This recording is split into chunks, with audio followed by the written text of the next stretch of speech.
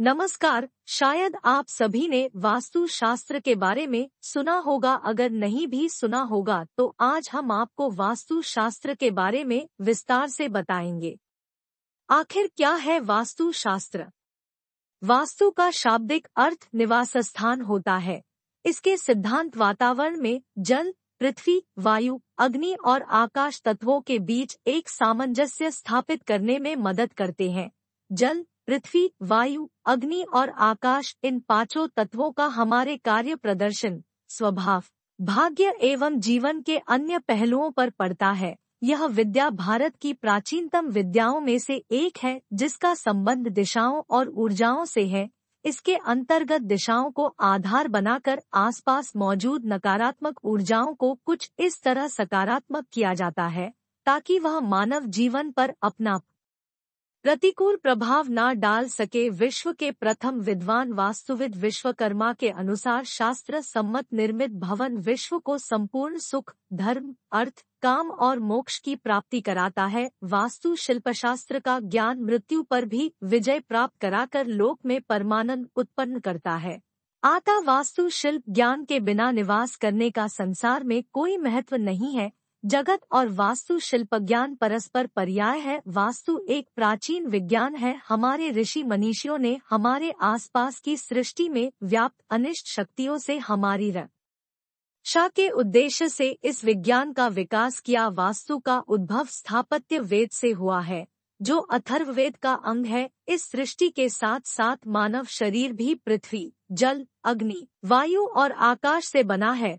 और वास्तु शास्त्र के अनुसार यही तत्व जीवन तथा जगत को प्रभावित करने वाले प्रमुख कारक है। भवन निर्माण में भूखंड और उसके आसपास के स्थानों का महत्व बहुत अहम होता है। भूखंड की शुभ शुभ दशा का अनुमान वास्तुविद आसपास की चीज़ों को देखकर ही लगाते हैं। भूखंड की किस दिशा की ओर क्या है और उसका भूखंड पर कैसा प्रभाव पड़ेगा? इसकी जानकारी वास्तु शास्त्र के सिद्धांतों के अध्ययन विश्लेषण से ही मिल सकती है।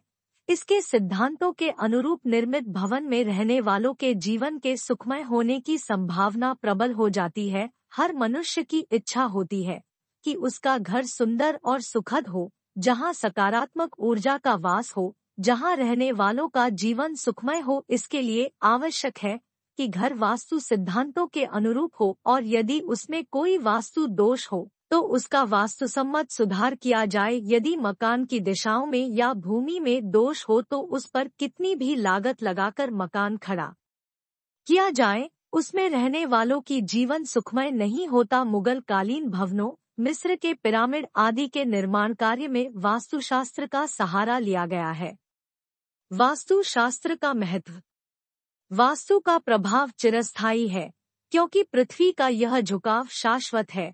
ब्रह्मांड में ग्रहों आदि की चुंबकीय शक्तियों के आधारभूत सिद्धांत पर यह निर्भर है और सारे विश्व में व्याप्त है, इसलिए वास्तुशास्त्र के नियम भी शाश्वत है। सिद्धांत आधारित, विश्वव्यापी एवं सर्वग्राहा है, किसी भी विज्ञान के लिए अनिवार्य सभी गुण तर्क संगतता साध्यता स्थायित्व सिद्धांत परकता एवं लाभदायकता वास्तु के स्थायी गुण है। आता वास्तु को हम बेहचक वास्तु विज्ञान कह सकते हैं। वास्तु शास्त्र एवं ज्योतिष शास्त्र दोनों एक दूसरे के पूरक है, क्योंकि दोनों एक दूसरे के अभिन्न अंग है।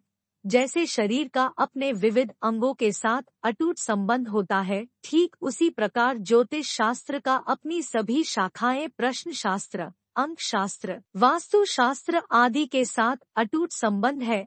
ज्योतिष एवं वास्तु शास्त्र के बीच निकटता का कारण यह है कि दोनों का उद्भव वैदिक संहिताओं से हुआ है। दोनों शास्त्रों का लक्ष्य मानव मात्र को प्रगति एवं उन्नति की राह पर अग्रसर कराना है एवं सुरक्षा देना है। वास्तु सिद्धांत के अनुरूप निर्मित भवन एवं उसमें वास्तुसम्मत दिशाओं में सही स्थानों पर रखी गई वस्तुओं के फलस्वरूप उसमें रहने वाले लोगों का जीवन शांतिपूर्ण और सुखमय होता है।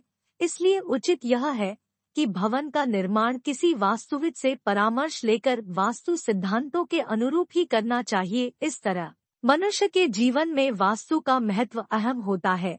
इसके अनुरूप भवन निर्माण से उसमें सकारात्मक ऊर्जा का वास होता है, फलस्वरूप उसमें रहने वालों का जीवन सुखमय होता है। वहीं, परिवार के सदस्यों को उनके हर कार्य में सफलता मिलती है, इस जानकारी को शेयर ज़रूर करें और ऐसी ही जानकारियों को जानने के लिए हमारे साथ बने रहिए।